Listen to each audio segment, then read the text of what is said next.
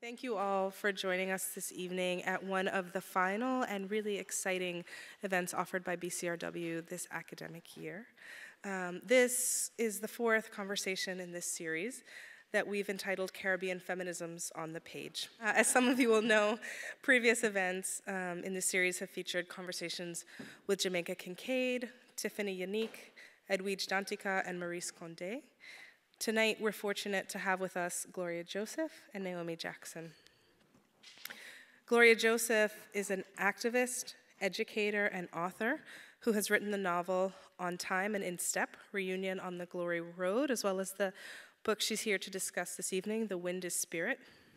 She's also written numerous articles and edited multiple anthologies, including Common Differences, Common Conflicts in Black and White Feminist Perspectives, and hell under God's orders. She earned a doctorate from Cornell University and has taught and lectured worldwide in the areas of education, racism, feminism, and social justice. Dr. Joseph is professor emerita at Hampshire College. She lives on St. Croix. And as a personal note, I'd just like to say I'm also from St. Croix. And it was at the Women's Coalition of St. Croix, one of the many feminist social justice organizations Joseph has co founded that I found my first job directly out of college. My time at this organization was transformative to my thinking about what is possible and what is absolutely necessary. So, Dr. Joseph, thank you for your work and the communities you continue to help create. We're also joined this evening, and yes.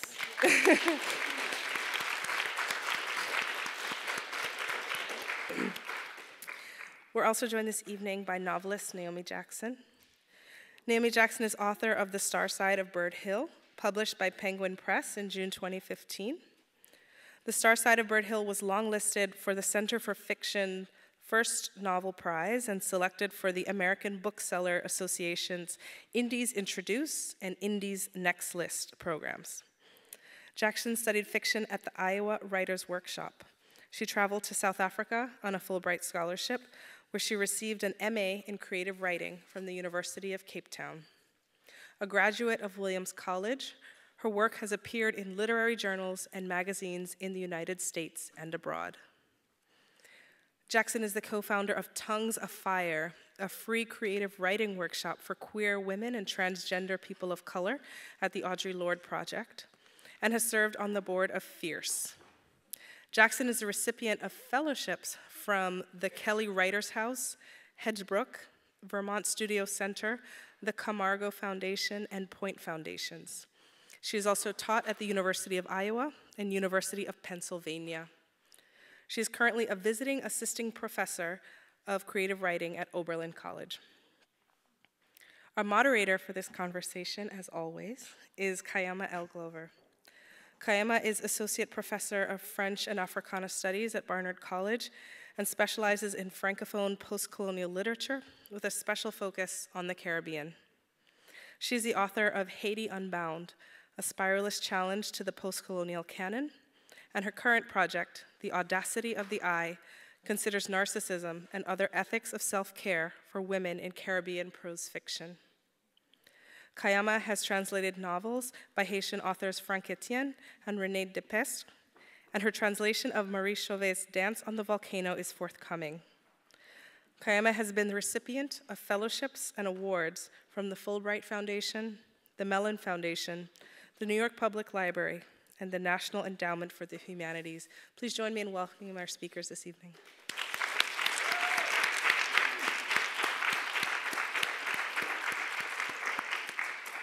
So the format that we will use this evening, as always, we'll have the authors join us for a brief reading of their work, followed by a moderated conversation. And we'll ask Dr. Joseph to read first, please.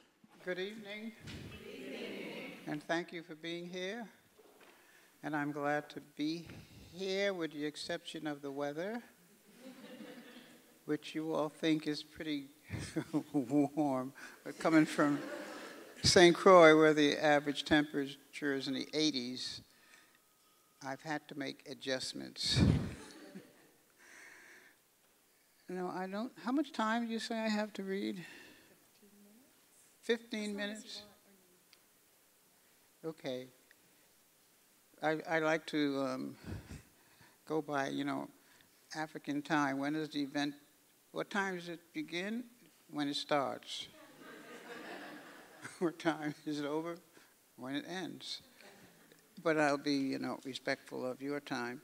So what I want to do is start by um, telling you how the book came to be. A few months prior to Audre Lorde's death in 1992, I conducted an interview with her and we discussed her biography. I promised her that I would write it and asked the question What is it that we want this biography to do? Her response was, and this is verbatim to leave a story of who I am in all my complexity and to make the quality of my life so irresistible that other people will share my visions. I really want people to know how hard I tried with what I have. I also want them to know that I play with toys in the bathtub and can be as stubborn as a mule which sometimes puts me in good standing and other times not.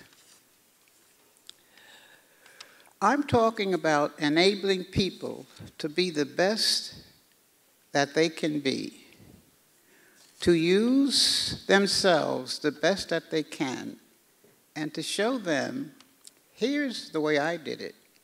It's not a question of following, it's like a poem and I believe passionately in the power of poetry. A poem doesn't tell you how to act and how to feel. It inspires something inside of you.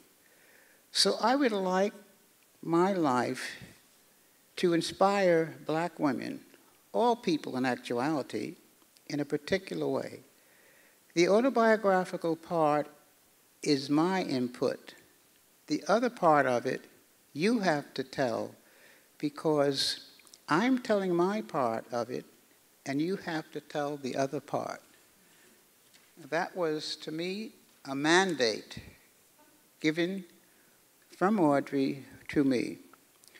I concluded that the most effective way to fulfill her wishes would be to ask for contributors from people whose lives were impacted and influenced by Audre's words and by her turbulent and triumphant life. I would select a wide and diverse number of people to submit materials as personal stories, dissertations, recollections, poems, memoirs, to share their interactions and knowledge of Audre. I see the collection of, from the contributors, actually forming a profile of who Audrey, Audre was, you see. I also see the book like a um, symphony orchestra in this sense. The contributors are the musicians, you know, violinists, oboes, drummers. I am the conductor, and it's my job to meld all the instruments into a compelling melody, hopefully it'll become a classic. And I see Villarosa Media as the producers. At this point, let me say that I'm grateful and have gratitude to Villarosa Media. It's a newly establishing published house, a mother and daughter affair, so it's bound to be successful. so, and I want to thank them because I had um, many rejections when I first um, tried to have the book published, and they were reasonable rejections. I can understand and respect each publishing house for wanting their books to represent what they feel, their philosophies. So I didn't take, you know, it wasn't a personal thing, it was just the way, way it is. So, however, the um, Villarosa Media did take the risk and um, so far, it's been a, a good risk, a successful risk. Now, um, let me see. Audre's, um, oh, let me move on to um, the fact that there were three major memorials after Audre's death. The largest one was at um, Saint, the Cathedral of St. John the Divine, with over 4,000 people attending. Another one was in, in Germany, where she spent much time dealing with her cancer. And the third celebration was in St. Croix at the Botanical Gardens. And I want to read the um, actually was the first person who spoke at the um, ceremony. Her name was um, Reverend Cynthia Young, and here's what she had to say. Reverend Cynthia Young was also a, a, a psychic, healer, and a friend of Audre's, and what she had to say as the opening comments at the ceremony. Her painful physical sojourn is over. She now resides in the city of true light and life.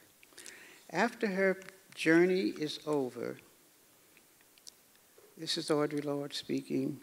Cynthia, Cynthia, Reverend Cynthia Young speaking through Audre.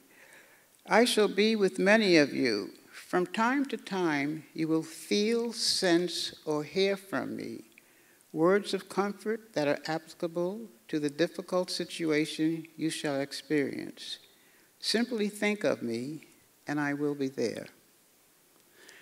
Now, what I want to read now is briefly one of the contributors' words which exemplifies this. So many of the contributors make reference to the fact that, you know, Audre's spirit is there, Audre influenced them.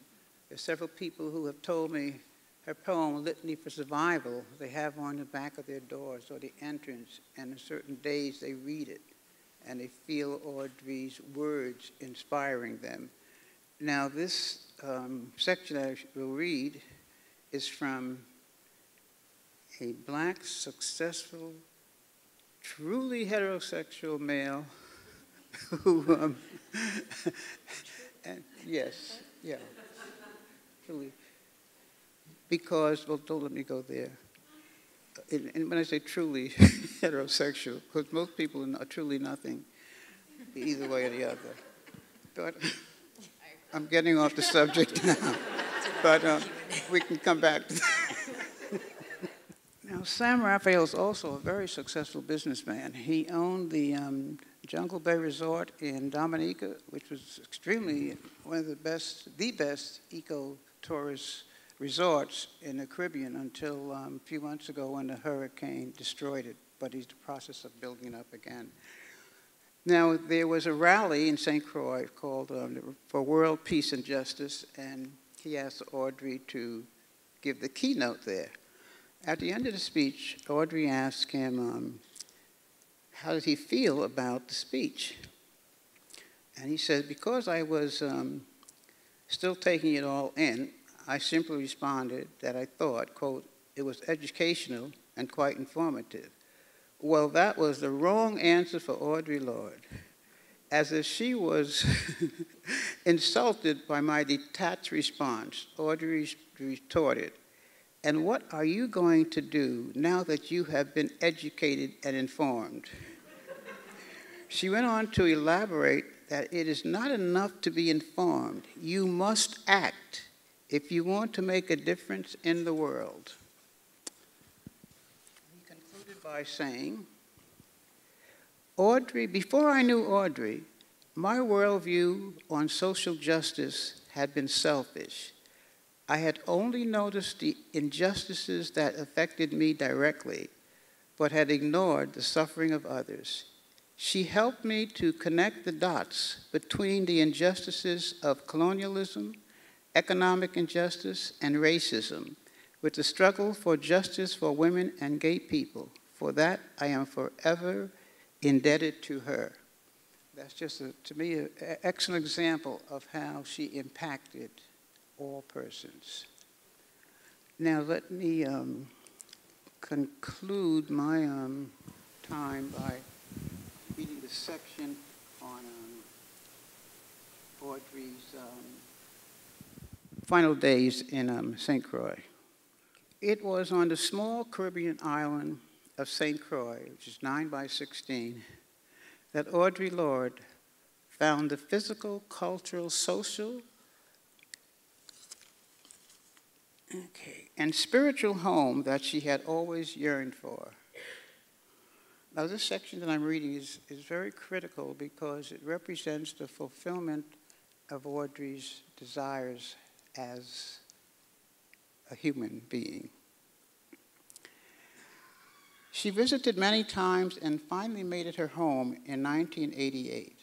The warm, pleasant temperatures, year round bright sunshine, the compelling ocean, at times calm and other times roaring, and the clean air were all a welcoming balm, a relief from the stress, pollution, and noise of New York City. And I've just recently experienced it. The other night, when I was in the Bronx, remember Linda, and this, I was reading and I heard this awful rumbling noise. I didn't know what it was. It was the L, the subway, what was it? Yeah. I honestly did not know what that was. Anyway, equally important and gratifying was the way she integrated into the multicultural Afro Caribbean, Afro American community and the way it embraced her. The community had a deep concern for her welfare and appreciated and loved her for being a dignified human being, a gracious, a gracious and warm hearted person who was always ready to lend a helping hand. St. Croix is not free from racism, sexism, or homophobia, but being a part of the community on a small West Indian island provided Audre with the fulfillment of many of her lifelong desires. It created a metamorphosis for Audre, the culmination of her desire to be comfortable in her own skin. It was something that she had hungered for her whole life. Audre frequently strolled the beaches, reciting Jabberwocky at the top of her lungs. And the first time I heard it, I was, I looked, but she was in her element, she was enjoying it, and she enjoyed it, I enjoyed it. She loved to comb the sand, admiring the little crabs scurrying in all directions as she gathered shells. With a sense and loving look, I recalled her saying, This is like returning to my Caribbean roots, my mother's and father's roots. The beaches, the warmth of the sun and breezes, this is where I belong. The acceptance that Audre felt in St. Croix was soul satisfying and precious. The community embraced her not based on her notoriety as a famous poet or as a poet laureate or a lesbian feminist celebrity. No, she was accepted on the basis of her warm personality, her friendliness, generosity, and willingness to be involved in local affairs. And that was extremely fulfilling to Audre and I'm very grateful for St. Croix that she was able to find that. There's one other area that I really wanted to talk about, and that is um, the way in which I want to um, want to and have projected Audre in the book. You know, Audre defines herself with, I call them those seven or eight words, you know, mother, poet, lesbian, black, African. And um, yes, she's that, but you know, thousands of women in America fit that description. And Audre is unique. I promoted Audre as a philosopher, a sage, a poetic genius, and a humanitarian. And I compare her, pardon me, to the likes of the Dalai Lama, Mahatma Gandhi, Martin Luther King, and Malcolm X. And if you think of those names and what they stand for, you know, you have, you know, Mahatma Gandhi, his resistance, Martin Luther King, we talk about, you know, I have a dream, which we're still trying to complete. And um, as a matter of fact, with Malcolm X, um, Decima Williams from Grenada has a wonderful piece in the, in the book. And she says, she starts up by saying, if you know Malcolm and you know Audre, and she makes it's not a comparison, but she shows the ways in which they have they're similar. Now, one of the reasons why I um, want to elevate Audre to that status of those um, males, her name should be right there. Look at some of her quotes. Your silence will not protect you. The master's house will never, tools will never destroy the master's house. Those are, you know, they're just tremendous, deep philosophical thoughts. My favorite is wherever the bird with no feet flew, she found a tree with no limbs. Now that is so deep that's a philosophical statement that you could use and create an entire course based on it. You know, it talks about finding your way.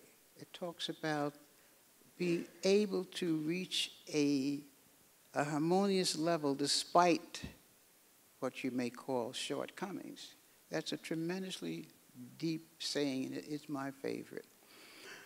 Now, Audre, um, so that's why I feel that, you know, it's our job to, and I do mean all of us, to, to promote Audre's and her work and those sayings to the level that she deserves. The woman was a poetic genius. She had visions. Some of the things that she said way back then are coming true today. And we have to learn from her. As we know, one of the things that Audre and I always talked about was always a learner be. No matter how ridiculous this thing, something sounds, you're learning something. Even if you're learning how ridiculous the person is, you're, you're learning something. So my, my time is um, up. Of course, I could go on and on and on and on and on, but that's not politi- politically correct. anyway, thank you for your time. I am so honored to be on this stage with um, Dr. Joseph. Um, I, I want to tell a little quick story, which is that when I was a high school senior at Trinity School, maybe 20 blocks from here, I did an independent study, my honors thesis on black women and feminism. And I think it would not be a small thing to say that um, meeting the works of Audre Lorde saved my life. Um, and that um, there was something about being a lesbian, about being a writer, about being the child of West Indian parents who had very high um, expectations and hopes for me. Um, and seeing all that in Audre's work and knowing that she survived um, and lived to tell the tale and inspired so many people that really made me think that the life that I wanted was possible. Um, so I wouldn't imagine that 20 years later I'd be here. Um, but, you know, life is funny. Um, so I'm going to read from my novel. It's called The Star Side of Bird Hill. It's my debut novel that came out last June. It's a coming of age story set in Barbados, where my mother's family is from. It's about these two um, girls, an older sister, Dionne, who turned 16 in the section that I'm going to read, um, and her younger sister, Phaedra, who's 10 when the novel opens. Um, this section is about Dionne, who arrives in Barbados very mad that she's been sent home. She had other kinds of plans for her summer, um, and basically dealing with the reality of what is um, and some other things. Dionne once had another idea entirely about how she would celebrate her 16th birthday. She and her best friend in Brooklyn, Tanisha, had their hearts set on a party hall on Church Avenue. Everybody was going to be there Tanisha's Trini cousins and uncles and sisters, their friends from school, mostly Tanisha's, and Darren, the boy who Dionne had been going with since he'd moved up from Jamaica three years before. Dionne was drawn into the schoolyard romance with Darren by girls who said, It would be cute if y'all went together, because of the way that Dionne's chestnut skin played off Darren's hazelnut eyes, the same eyes that had every girl from Vanderveer to Erasmus fantasizing about Darren looking at them. As Dionne got to know Darren on their bus rides home together, her affection for him had deepened, fulfilling the vain promise that had brought them together. Since she'd arrived in Barbados, Dionne thought of Darren often in spite of herself, although she knew that attachment was the first step on the road to disappointment. After her father left, Dionne witnessed a parade of men her mother entertained for as long as they would stick around. But while she could attract men, draw them into her web, Avril had trouble keeping them. In the last relationship, the one that ended the year before Dionne started high school, Dionne wanted to believe her mother's conviction that her boyfriend, Musa, would marry her. But something happened once her mother made for her intentions for Musa clear, and every time he came over after that, he was always just about to leave again, as if her mother's desire for him had propelled him in the opposite direction of her. By his last visit, Musa wouldn't even take his coat off.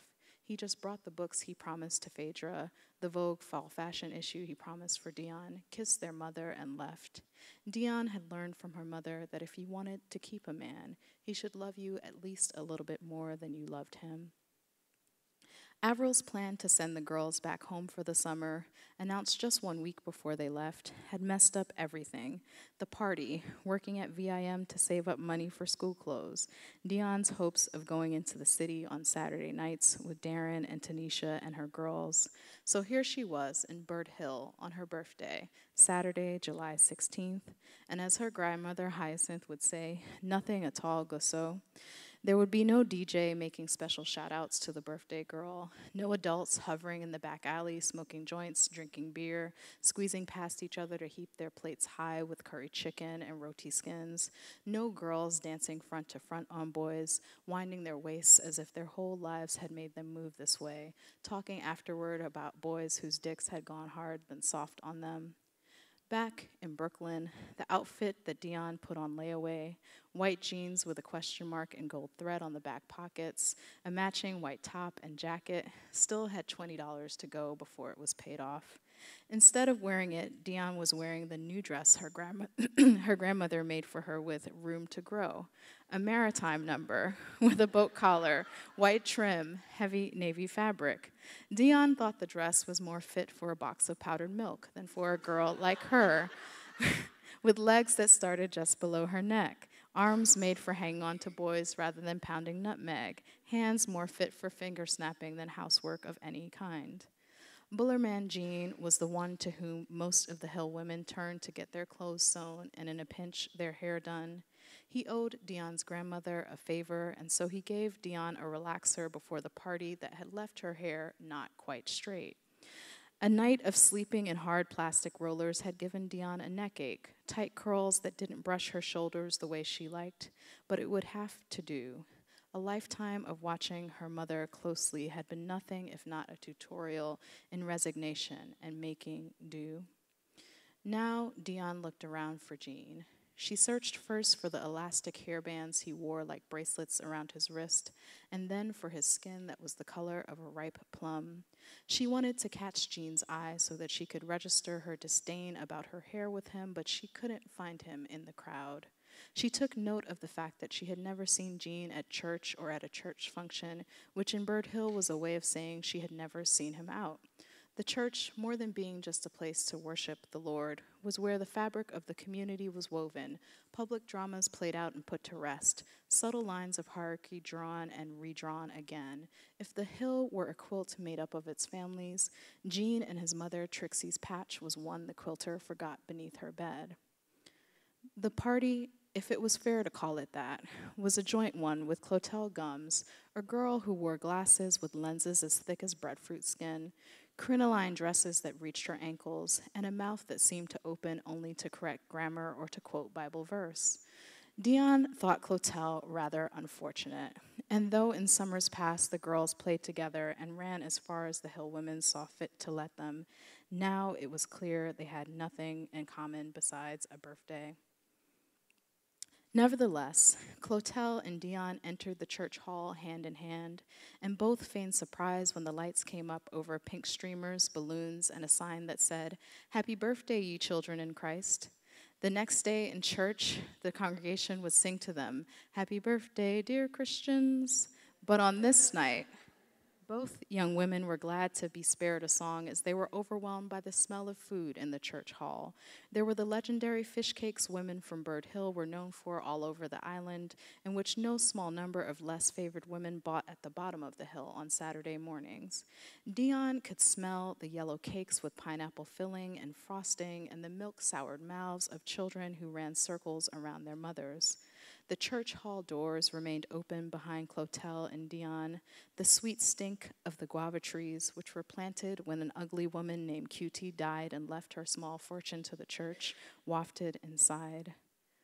Both girls were new to the high heels that bore blisters into their feet. Dionne was painfully aware that she'd finally turned 16, the age when Avril said she could start wearing heels, and her mother wasn't there to see her wobbling or to show her how to walk in them. Dionne and Clotel shifted their weight as Father Loving said an interminable prayer, during which Dionne fluttered her eyes open to find the Reverend wiping his brow and studying her breasts.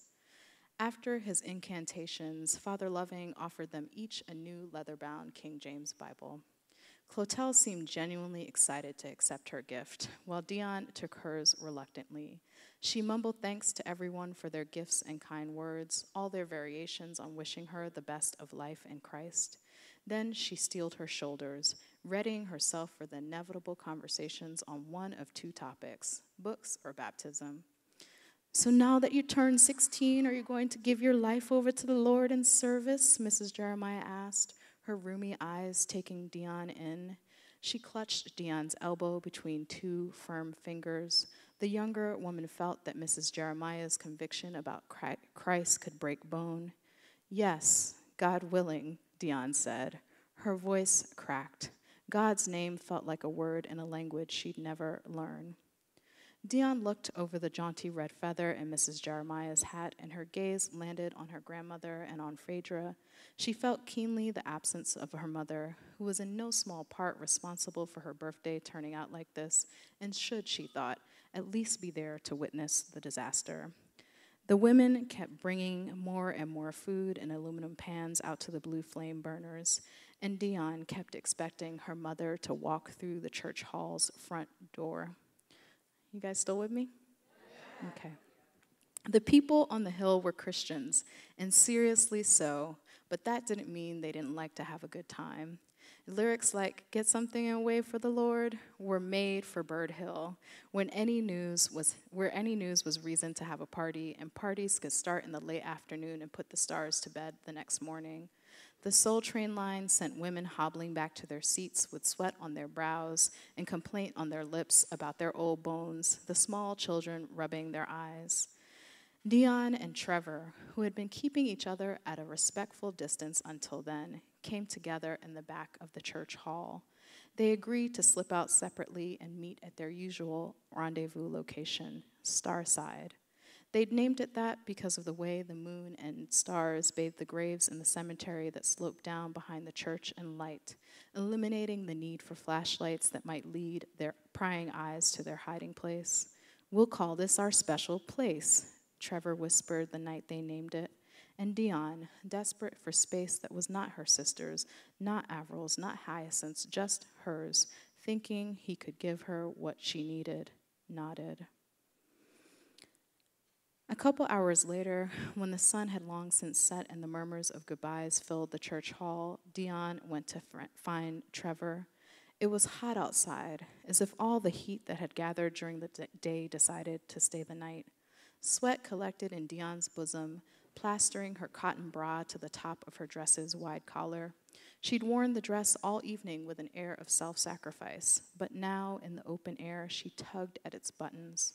She took a seat on Trevor's forebear's grave with the gift Bible tucked firmly beneath her, making a show of trying not to dirty her new clothes. You having fun yet? Trevor asked. Define fun. Come on, Dionne, you have to admit that seeing Sister B do the pepper seed was fun. Yeah, I guess you're right. Dionne laughed. She remembered the older woman's shaking shoulders, the way everyone was genuinely concerned about her teeth rattling out of her mouth. What do you think his life was like? Dionne asked. Whose life? His life. Trevor Cephas Loving, July 14, 1928 to July 21, 1973. Probably the same as my father's baptisms, weddings, funerals, more food than you could eat in one lifetime. Same as yours. Do you want to be a reverend? I guess I never thought I had a choice. Everything in life is a choice. It's not like you just wake up one day and suddenly you're father loving the third.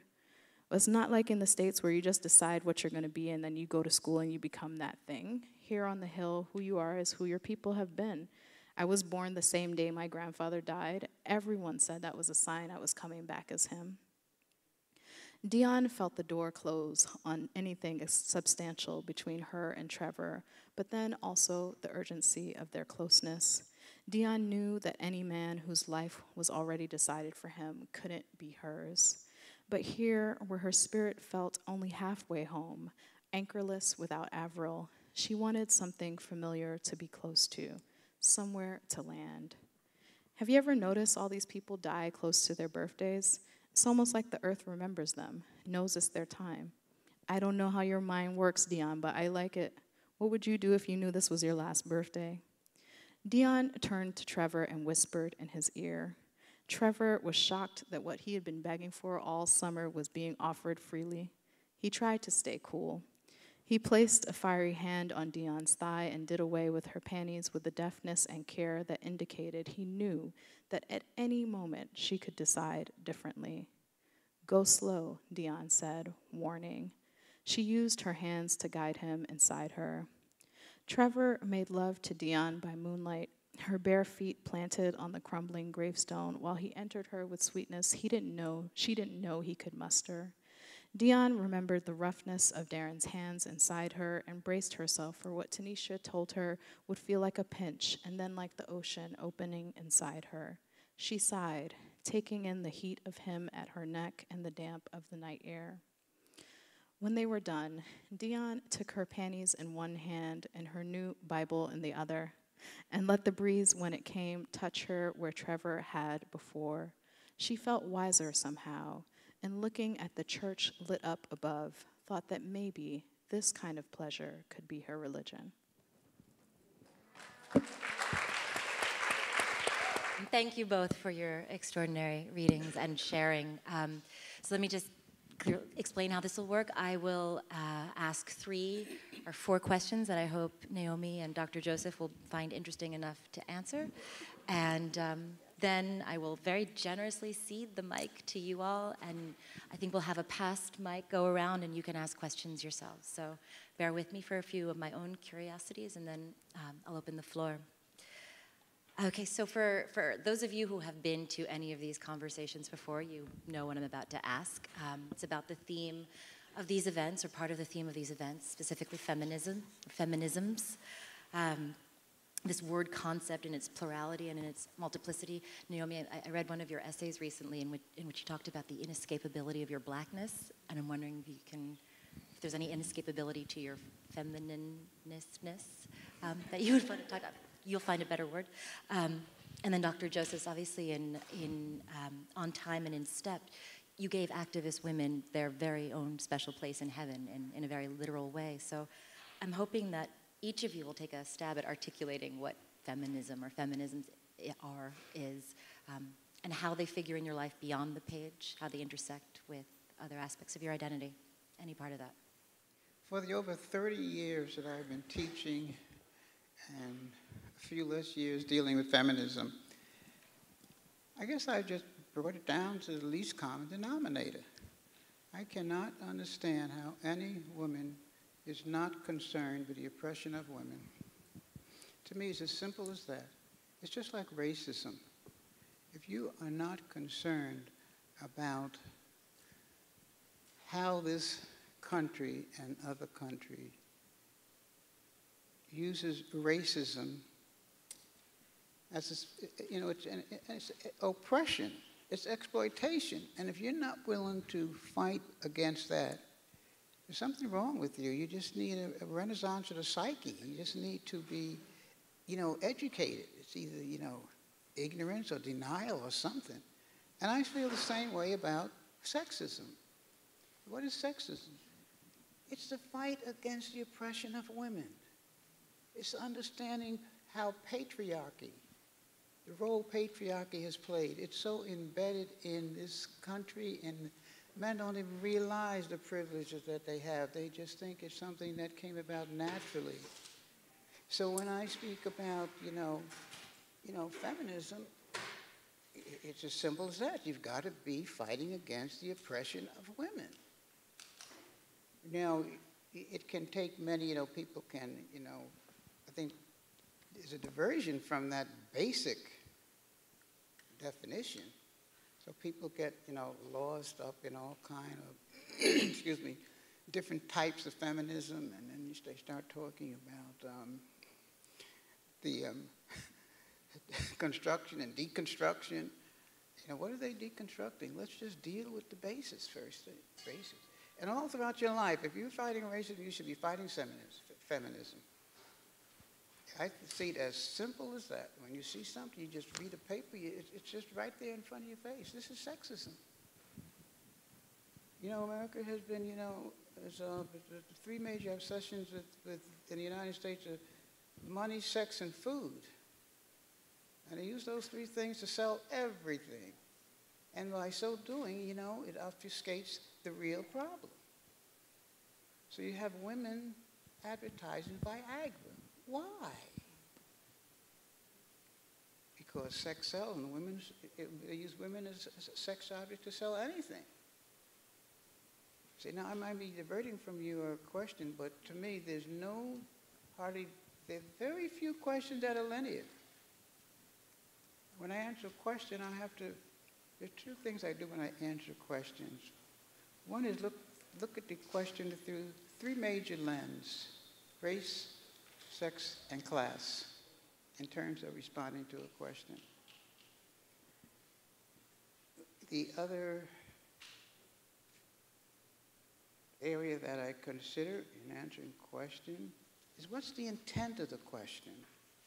And I learned that from Malcolm X. That's one of the things he said. He said, you know, sometimes when people ask a question, you wonder where it's coming from and you can't answer it because you don't understand the intent. What is that person really asking? What does he really want to know? Is he showing himself off? Does he want to pontificate? Just what? So those are two, you know, vehicles that I use in, in, in answering questions.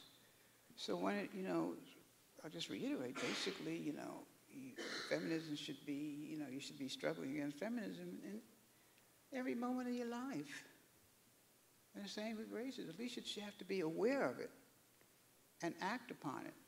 If you want to bring out change, change does not come about through simple prayer and meditation. It takes action. You want me dissertation anymore on this? Uh, sure, I've got more. um, I, I I definitely would take take off from where Dr. Joseph started and say that if you're awake in America or really anywhere in the world as a woman, um, you're awake to the unfairness of our world. And I think I began as a young person to question things like how come my cousins, when we went to Antigua, could my boy cousins could go anywhere, and we had to be chaperoned by these fools. I mean, they were two years older than us and didn't know any more than we did, um, but they were somehow in charge of us, right?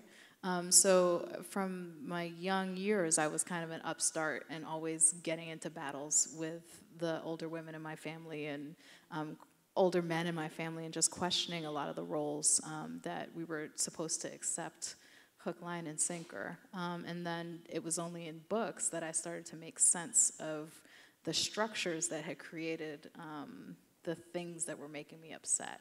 Um, so it gave me a lens through which to understand the things that already upset me. Um, so, um, like most things, I always begin with books to try and understand them and then move out into the world. And I certainly agree um, that prayer isn't enough and that action is really important. So, beyond the page, um, I think Tammy mentioned earlier that I started a workshop with Erica Doyle, who I think I heard her laugh, um, so she's here, I think. Um, we started a workshop at the Audre Lorde Project in Brooklyn for queer and trans folks of color. Um, it was an incredible workshop that we ran for four seasons and has so many alumni who've since gone on to publish lots of work. Um, and so for me, I usually try to begin um, whatever activist work that I do with actual skills that I have. I remember going to South Africa, I was there on a Fulbright maybe 10 years ago, and someone said, You should go hold babies. And I was like, I like babies, but I don't think that's a skill set. Um, so maybe let me start with something that I actually can do, right? Um, so I'm a writer, and so to me, creating community for writers um, to do their work, whether it's fiction or political writing, um, that was my important gift to give to the world. And then um, at the time when I was on the board of Fierce, I was also working at a grant making institution, and so able to bring those resources and what I knew about raising money um, to the table. So I try to begin my activist work from a place of strength and passion um, and skill, um, and then take it take it from there. Yeah. Thank you. So there are three things, at least in what the two of you have said, that I want to follow up on. I'm going to try to keep them straight in my mind. The, the first has to do with the connection between um, activism and writing, obviously. Um, and you made, maybe it was my fault when I said uh, your feminism's beyond the page, and sort of you made a distinction between you, particularly Naomi, between writing and then the other activities that you've done that are that are activists, or kind of. And I suppose I'm wondering what you might be able to do, both of you, with this cluster: activism, pedagogy, poetry, power. Um, the ways in which you see perhaps the simple, or not the simple, the complicated act of writing as in its of itself being part of that fight that Dr. Joseph just brought up, that, that struggle. And then, this is a, a run on, but I'm just going to go for it. Both of your work, and particularly in the conclusion, I'm not going to issue any spoilers here, but you both call on memory and pedagogy in a certain way. Um, Hyacinth talking to Dionne at the end, right? Remembering the past, remembering the struggles of the ancestors and of those who are elders in life as being part of activism, pedagogy, and writing. Um, so I'm hoping you can put that, that all together um, better than I just did. Take a stab at it. Yeah. Um, so I would say the, the essay that you quoted from um, was something I wrote, wrote for BuzzFeed last summer when my first novel came out. And I thought I would have kind of a regular debut novel like my mom would read it um, and some supportive friends. Um, and something a little bit more than that happened. Um, but it was interesting. There was an article um, in the Times, I think they were saying best books of summer, which was only white people. Um, and then um, there were a series of articles that called out the Times for their racism. Um, and I was like, okay, this is not going to be a regular ride um, because suddenly my book was being called forth in all these lists, you know, fighting against that.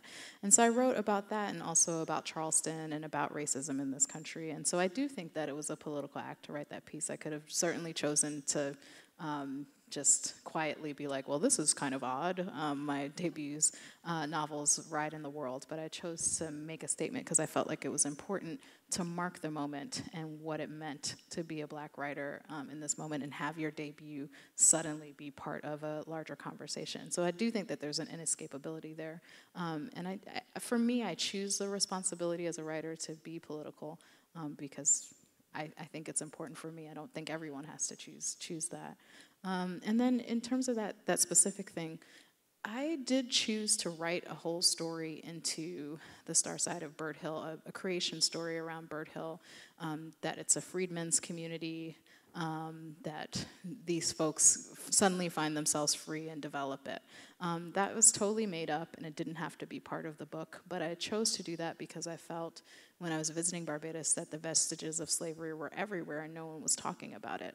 And so I felt that even if the book was set in 1989, we had all these physical markers of slavery plantation houses, mills.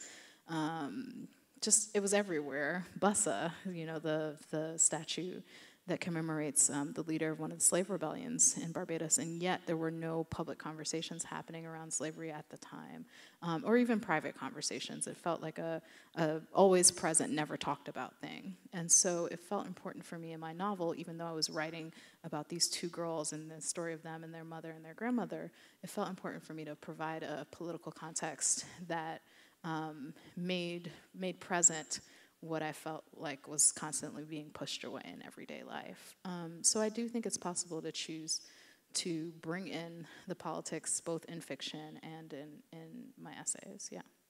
Thank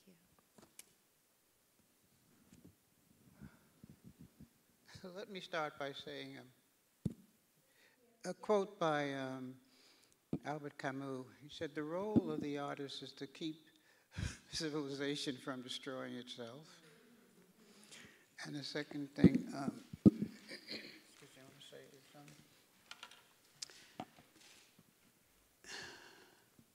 when I was getting my, working on my PhD, there was a, a professor, and whenever you presented your proposal, he would say, so what?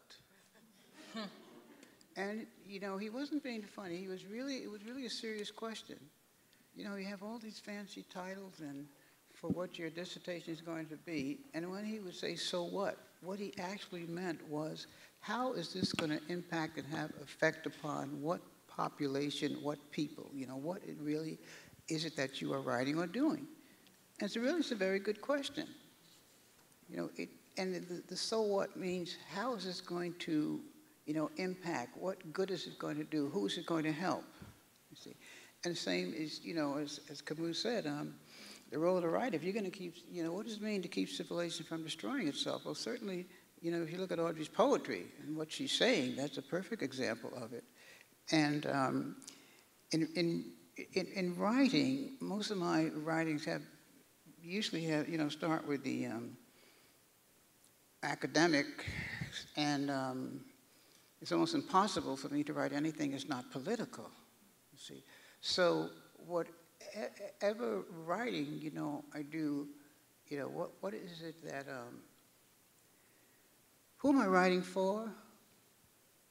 What good is it going to do to people? I think there has to, should be a political aspect to everything that, that to most writings. Of course, that's lost in today's um, what sells. As my friend Opal Palmer says, you know, you can, you know, you write these sexy, steamy novels, you can make money. Or you write a how-to book and you can make money. See, but from my, my perspective, you know, that's just all the flim-flam that America uses to divert people from the real problems, from the real questions, you know. You who determines what's the, what, what is a bestseller and what gets promoted? You know, if you have some contacts and connections. But, the, but those of us who, you know, really feel, as Camus said, that, you know, our role is to keep civilization from destroying itself. And you can see today how it's destroying itself when you've got politicians out there talking about the, the, the whys of the people. What, what is that all about, you know? Where are we going? So those writers who have, you, you know, you have to have, um, it's almost like it, it, it, should be, you know, internalized that whatever you write, you, you, it has to reach somebody and say something to someone. You know, it's like um, universal, universal humanitarianism, I think, is a, is, is a bottom line, too, for writing, you know. And then you have to also consider, you know, who's your audience that you're writing, you know? And who informed, how's your writing informed? Is informed by, you know, these little quick-selling novels, you know? Or is it informed by um, your, your political, your philosophy of life, you know, your, your, your social, um, social justice, or just what, you know, what are you writing for? You just want to make some money? Anyway, these are, you know, this is just my perspective on, on, on a question. And I just feel that, that um, oh boy, our country, you know, you know, we talk about democracy, it's capitalism. And by definition, someone's got to be exploited. So th those of us who, you know, know that and been around long enough to see what's happening, I think it's very critical that, you know, our writing, whatever we do as an artist, reflect that we have the knowledge of what is going on and we're trying to make some little indentation. And we have to do some indentation. And don't think that what you're doing is not worthwhile because, you know, in sociology, there's no such thing as a plateau. If you're not doing anything, you're going backwards. So whatever you're doing, if humanitarian, universal humanitarianism, your political goals, even though you may not make the money that those persons who write those steamy sex novels or biographies of um, celebrities, you know, like it just, it just came to mind, Justin Bieber wrote a, was writing a biography. Boy, man, yeah, these kids, they come, they should call them a half biography. They're not even old enough to think straight. But adolescents don't, you know adolescent mind, they're not developed. They have no sense of their idea of consequences. It's not fully developed. There was, a, an example where they asked people, different ages, would you roller skate down a pair of stairs? And of course, the people, most the adults said no, but the younger people, just a thrill of going down the stairs with roller skates, yeah, great. But they, you know, they don't see the consequence of their actions. So, am I going off another trend? No. That's what you're here for. Let me pick up on something you, you brought up. Actually, both of you brought up. Um, you may not use this word, but the question of responsibility to a public. Um, and I want to add to that responsibility. In your case, Dr. Joseph, you, you mentioned Sister Lorde's request that you help her voice come out in a mm-hmm. different way, in a specific way, for a public in a specific, uh, specific fashion.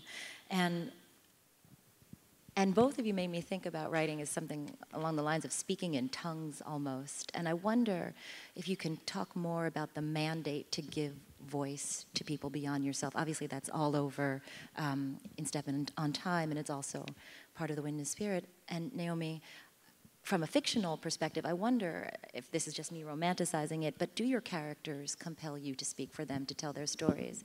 Um, or are, are they allowing you to tell a story of someone else or of yourself. So this idea of speaking in tongues and, and the responsibility or mandate to use your voice in the service of someone else or someone's else.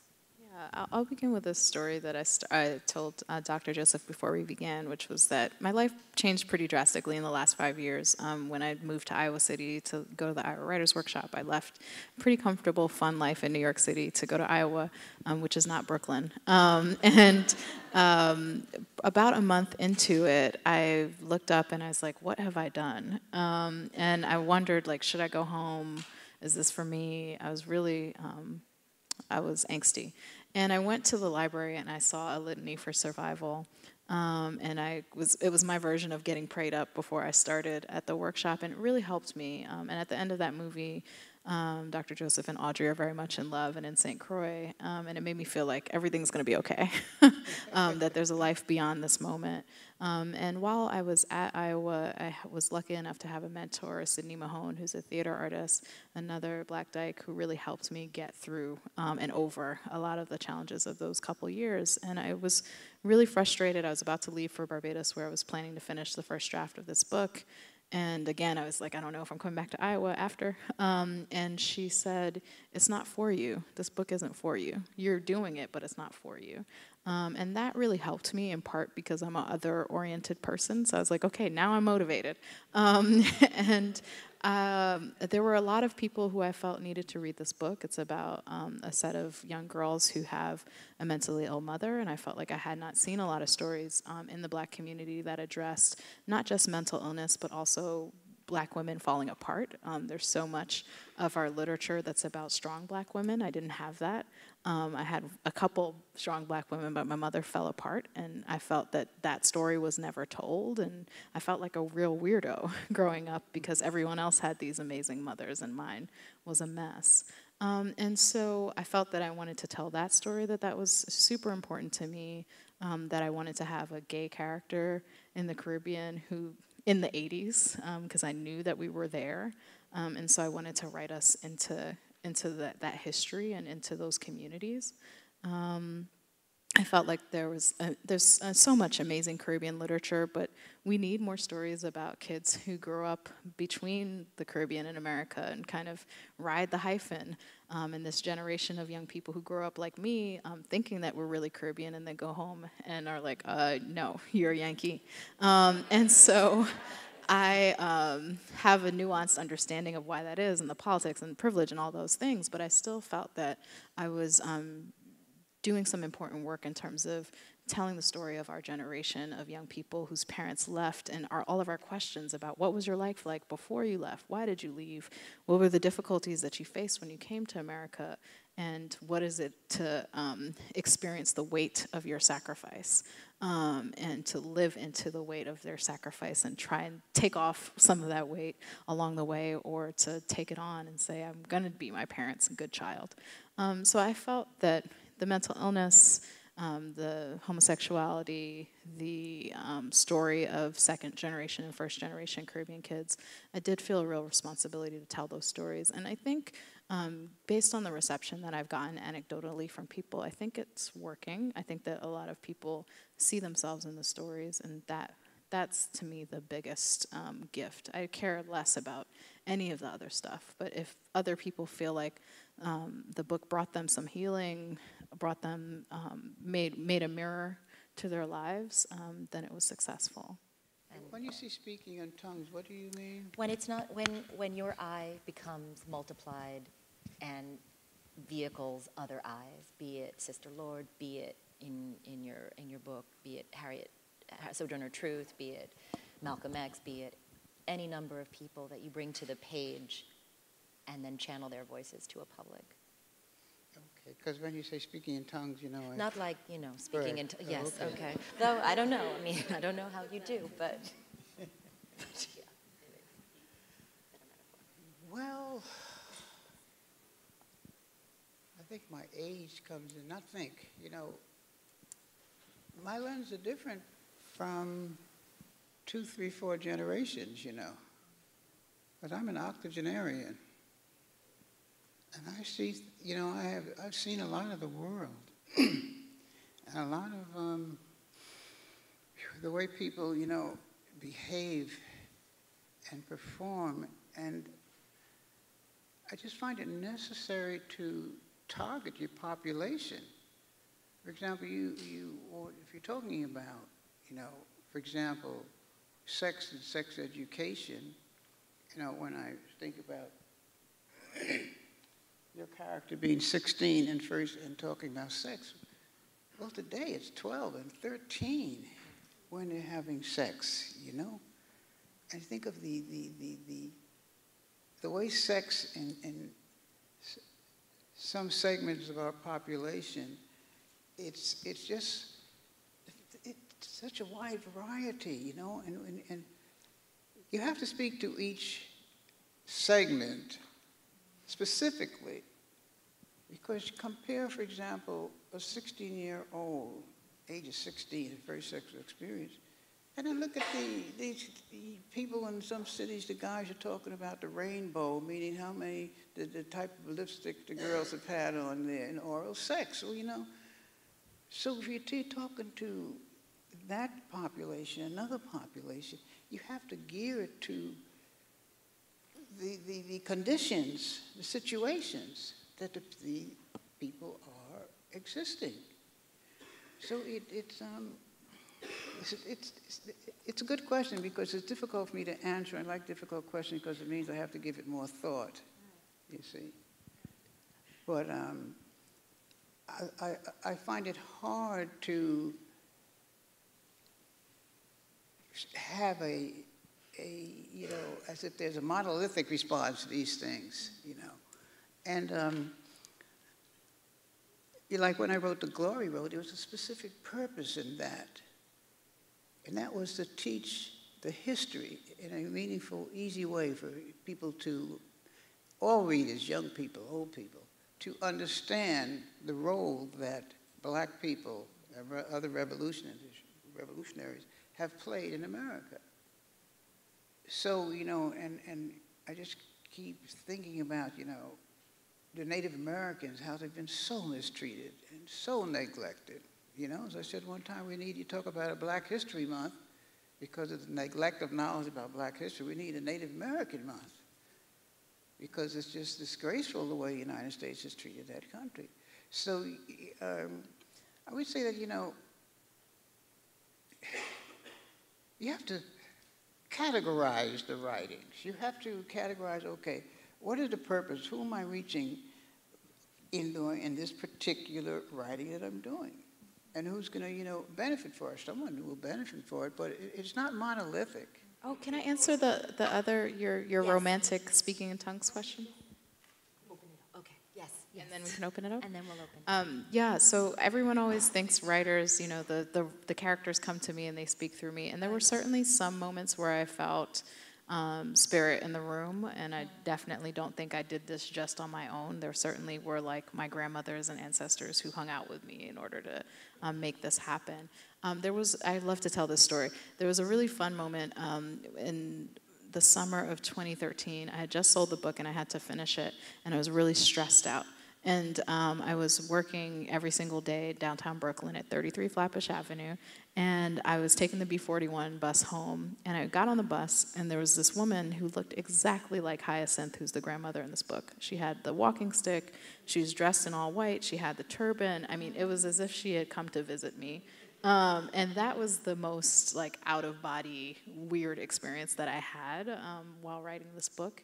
And things did get easier after I saw her. Um, I didn't. I was too nervous. I didn't. Also, didn't want to break the spell. What if she said something crazy? um, so, um, but or mean, right? right? Or just like get out of my way. Um, so that that to me was that felt like a blessing for the book. Yeah. Well, you know, with with the um, Glory Road that I wrote, you know, the um, Malcolm X Sojourner Truth are taking a stroll along the um, Glory Road, and they are able to look down at a, a gauge that they have and see what's happening in the world below. And um, there are sections on, um, you know, education and sports, et cetera, et cetera. And in writing that book, I was told by several people that I was a medium, a medium, mm-hmm. especially for Sojourner and, and Malcolm, because I was a Malcolm X groupie, and I just always been fascinated by Sojourner Truth and the things that they say about her. And, um, you know, I could really feel them saying what they said, and even in the, the diction and the way they would say it. And the same is true for Mahalia Jackson. I just loved her so much. I could hear her talk, and when she talks to Tupac, they have a conversation, you know. And I really felt those people and what they were saying and how they would say it, you know. So that's what makes that book so so fascinating to me and the others. That these people like you know, with Du Bois and you know his um, fastidiousness and how he would be dressed and the, the way um, with the sports, with the athletes, you know, an athlete's arena, and they would be talking about the same type of racism and what was going on today. So yeah, in that book specifically, very definitely, I was, pre, those people came through me, but they were the ones who allowed themselves to come to me. Thank you. That's what I meant by speaking in tongues, but you got us there. Thank you. Um, so if we could just thank our, our, our speakers for talking about I just want to say thank you for making me feel less lonely um, it's really nice to see Caribbean women that have like like mind like minds. Um, one question I had to ask was, I understand that there's like oppression outside the home on a grand scale, but I'm really focused on the oppression within the home. I was wondering if you ladies could lend me some self-care tips, especially when dealing with family members that aren't awoke to what's going on, are either in denial or ignorant to, especially when you want to speak up for your people and how they're being oppressed and how you can handle that. Because in front of me, you seem very calm, and I'm very angry. I have a lot of anger in me that I'm trying to channel into different, like, different ways. And it's just really hard being within a household, super Christian. No disrespect to any Christians. We all um, see God differently. Um, but I just really want to know if you ladies have any self care tips for the oppressors within the home? I think it's a, a, great question. I'm so glad that you could be in community to, tonight. I feel that, um, you know, the most terrible things that happened to me in my life happened in my house, right? Mm-hmm. So it wasn't like I was on the street and someone ran me over. it was people who I knew and loved who, who did the worst things um, in my life. And that's not to victimize, but just to say, I hear what you're saying. Um, I think that I have a lot of compassion and patience with the people in my family that's been developed over a long time. I'm 35, which doesn't mean I'm an elder by any means, um, but I've had a long time to work through a lot of my emotions and still have work to do. But I was much angrier at 19 or 20 than I am now. Um, and I think that's because I've found work that really inspires me and that can channel some of that energy towards um, things that are actively making the world that I want. And also because I built a beloved community of um, friends and chosen family outside of my family. So I love my family. We're an incredible nucleus and we support each other.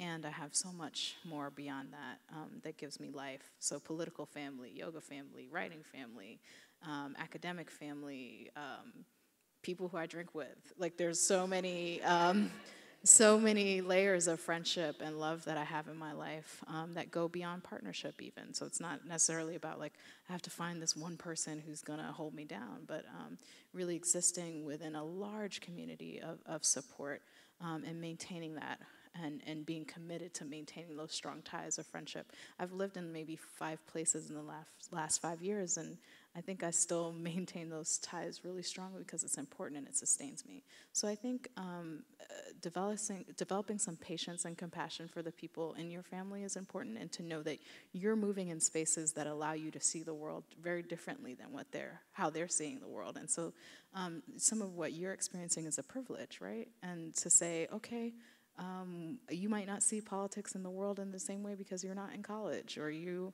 are working, you know, a 12-hour shift. So maybe you're not on BuzzFeed reading the latest article about transphobia. Um, and so um, just being aware of some of the privilege of, of being within an educational system, developing community, and then just being compassionate, deeply patient with the people in your life who love you but might not understand you, you know?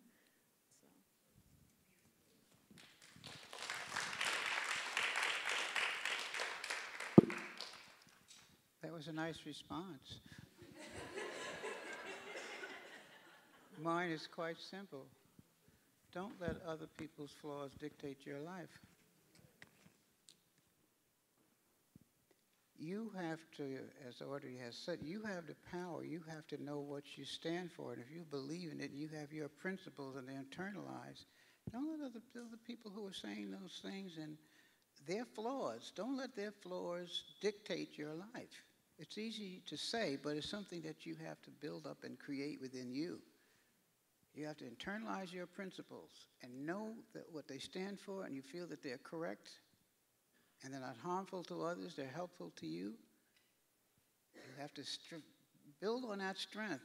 And what these other people say, they have, they're, they're, they're flawed. I just repeat, don't let other people's flaws dictate your life. It's easier said than done, but it's something that, you, that, that you have to work on. And of course, at a younger age, it's not easy to do, but it's something you have to build on and know who you are, what you want to do. Is it something that is valuable to you? Is it worthwhile? And stick with it and build on that. Other people, you know, a lot of flawed people out there, and they, for all sorts of reasons, which, you know, you're not a psychologist, psychiatrist, you can't cure them all. You don't know where these, the experience that they've had that make them act that way or treat you that way. And you can't expect to try uh, to solve their problems. But, you know, you can build on yourself. It, it, it's you. You're the, you're the person that's going to be facing the world. I'm interested in how Afrofuturism is connected with Black liberation and how we, how dreams um, evolve into like our identity and memory. But I think for me, I'm more interested right now of thinking, well, I'm in the just now thinking about going to grad school, but I'm Caribbean and I'm interested in Caribbean um, women's studies, but I'm in the space of like, where can I locate Caribbean feminism? Where we all come from various islands and various identities. So I think now I'm just looking at programs and just wondering what program fit within this understanding of Caribbean feminism and what does that mean? Are you familiar with, with CAFRA? No. It's the Caribbean Association for Feminist Research and Action. No, I'll write that down now. Uh-huh. it's been it's been going on for years, right? at, one, at one time, it was very viable. It was, it's called CAFRA, Caribbean Association for Feminist Research and Action. And for the Caribbean women to take that stance at that time, that was a bold and wonderful thing that they did. eh, the organization had representatives from throughout the Caribbean, and I was a represent, representative from St. Croix. And um, they took on, you know, the, the projects they um, were involved with, of course, were basic, similar to what feminist problems were about, you know, domestic violence or related, some of them, of course, would be specifically related to the particular island that the people came from. You know, with the, um, I remember once with the um, laws about selling and bananas, et cetera. Anyway, it was a really interesting case because the, public would have no idea what these women were going through with their selling, with, with having to make the produce and make a living out of it. And um, so that's an organization, you know, I still, it still goes on. Opal, do you know, do you want to say something about CAFRA? CAFRA was based and, and and still is based in Trinidad. Trinidad. And it has representative um, from all of the Caribbean islands. And certainly, you know, in terms of feminist study and feminist discourse, people in the Caribbean who have been at the forefront of that are people like um, Rhoda, um, who is also in Trinidad, Patricia Mohammed, you know, Carol Boyce Davies, also from Trinidad, um, Carolyn Cooper in Jamaica. So um, while there is not necessarily a definitive, definitive feminist discourse from the Caribbean, Caribbean scholars and writers and critics have been um, establishing tenets around Caribbean feminism and the issues that are important to women, working class women, and others in the Caribbean. And certainly a group such as Sistren, that in, in Jamaica that I'm very much familiar with, and Honor Ford Smith, um, who started theater as a way of helping working class women to look at issues of domestic violence and those kinds of things. Those organizations and those uh, scholars have been around and continue to articulate and um, give presence to Caribbean um, feminist theory. Yeah. Also, in, in the 80s, um, Dr. Johnnetta Cole and I did a um, photographic essay. I was a photographer and she did the writing. It was called The um, Caribbean Women, The Impact of Race, Sex, and Class. And we traveled throughout the, in, pretty much the entire Caribbean. And now, see, when you talk about activism doing things, it would be, it would be great if, if you, young lady, actually did a follow-up on something like that because what we found at the time was the, um, the Caribbean women, they practically didn't want to have anything to do with feminism. So after a couple days, we realized don't use the word feminism.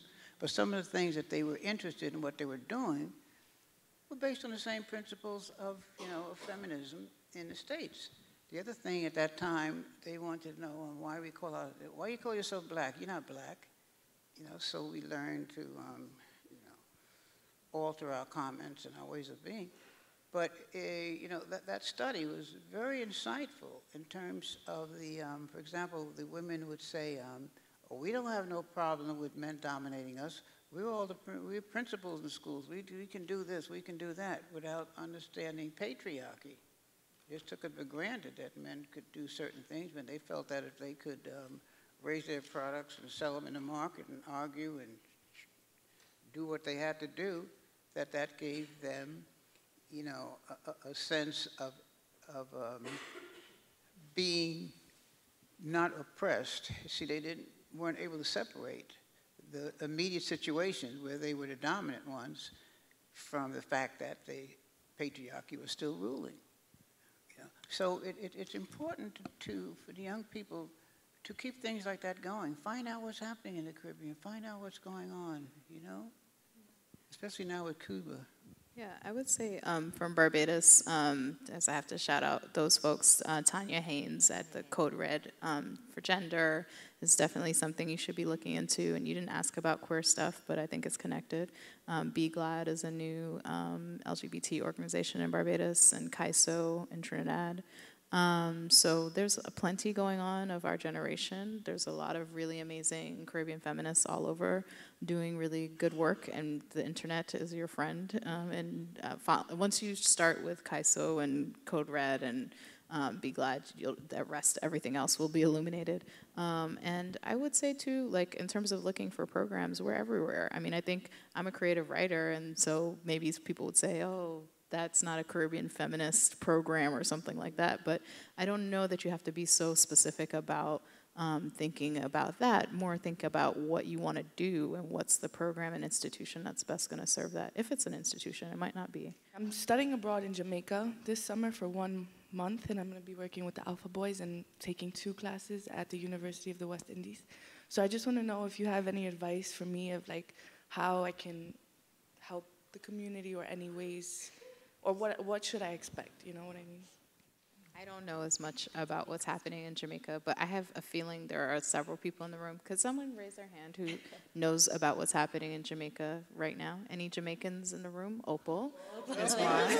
Um, there's another here. There's three people who have identified themselves. I don't know that you should be, you're there for a month. I, I think this whole um, American thing of helping, like, leave that at the door. I think you should think about learning and um, you're only i wouldn't go with the intention of like how many houses can i build or how many babies can i hold or i'm, I'm not i'm, no, being i'm joking i'm No, no, joking. No, I'm, i'm not teasing service you. learning project, so I, that's kind of yeah um, but i think just think about talk connect with these women and ask them what's cool and what you should be looking for rather than like how can i help? Yeah, I have one more question. yeah sure. Um, like when people tell you, because I, I identify as a feminist, so when people like tell me like, oh, like that's not cool or like something mean against it or against it, what sh- what advice would you give me to like say back? It's it's hard to be unpopular, right? Um, it's it's just a hard way to be in the world. Uh, excuse me. That's the joy of the struggle, Dr. Joseph says. Um, I yeah, I'm gonna go with that. That's the joy of the struggle. You're gonna figure it out. It won't bother you as much as you. And I hate that. I hate that your particular generation that suddenly is no longer cool to. Not that it was ever cool to be feminist, but particularly um, the 18 to 24 range seems to struggle with that. I hate that. But you're gonna. It, it won't bother you as much. Um, I want to thank our speakers and our moderator for coming and joining us.